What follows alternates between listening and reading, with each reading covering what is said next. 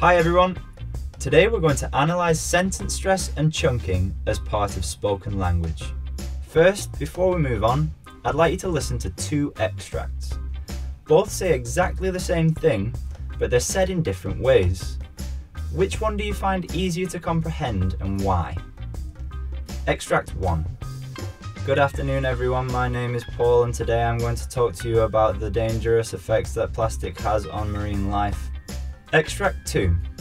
Good afternoon everyone, my name is Paul and today I'm going to talk to you about the dangerous effects that plastic has on marine life. Now then, which did you find clearer?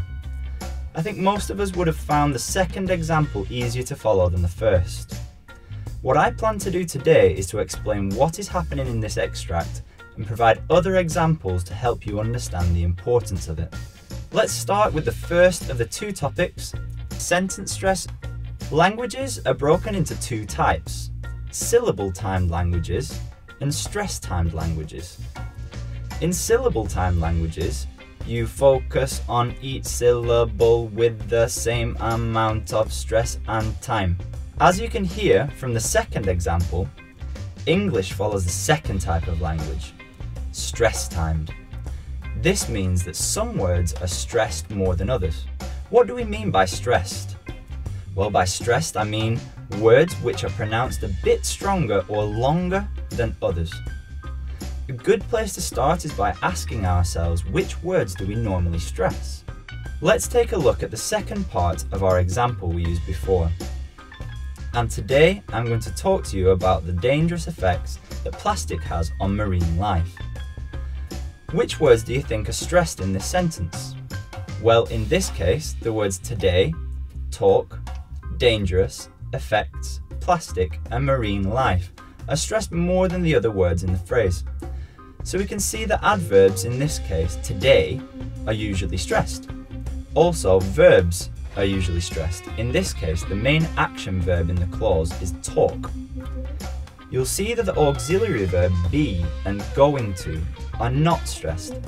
This means our pronunciation of them is much more relaxed and much quicker. It sounds like this I'm gonna,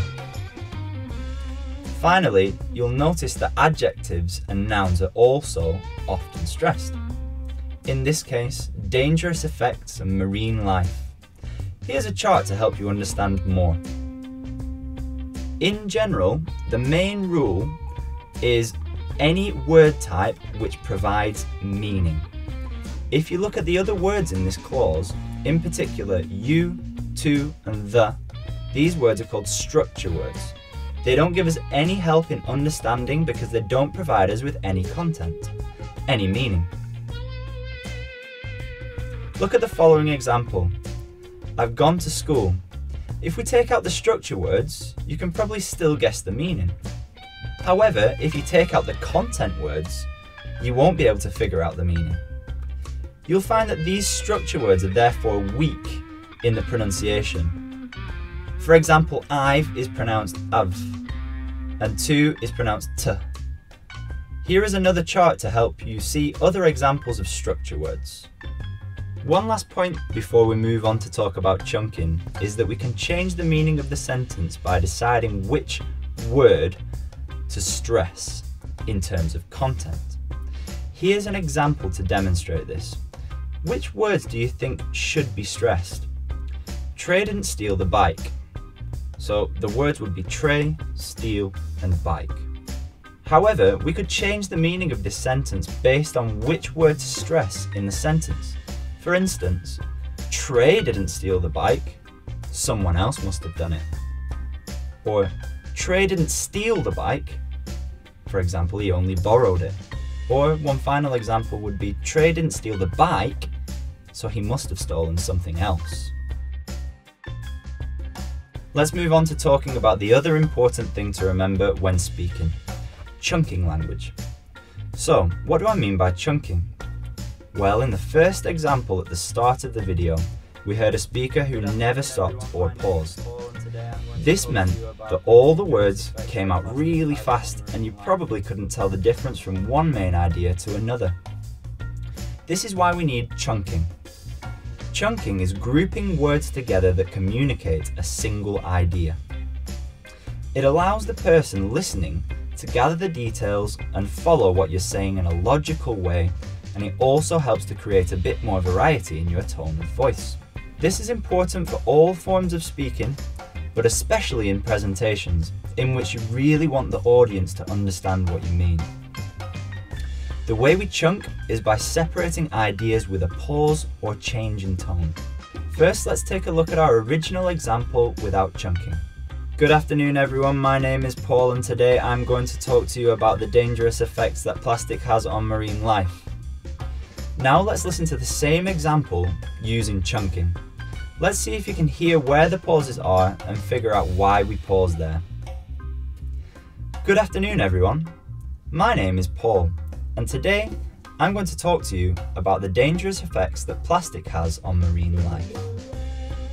The second example is clearer, right? This is because of the use of the voice and pauses in the chunking. Notice that the chunks don't always come only when we would have a comma or a full stop. Chunking language is grouping together any phrase which has meaning on its own. So when we're practicing, we only use one slash for short pauses and two slashes for longer ones. The longer ones are used like a full stop. It's when we've finished an idea and want to move on to another. Have a look at the following example. I'm going to say it out loud to you, but first, pause the video, read it, and guess where you think the shorter and longer pauses should go.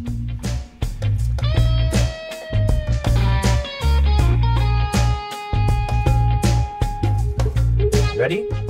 Here is the answer. My favourite football club is Liverpool.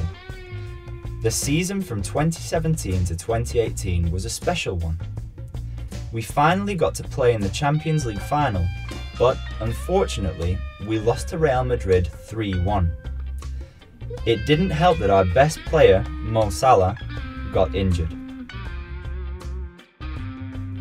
So, there are three main ideas mentioned here. One, my favourite football club is Liverpool.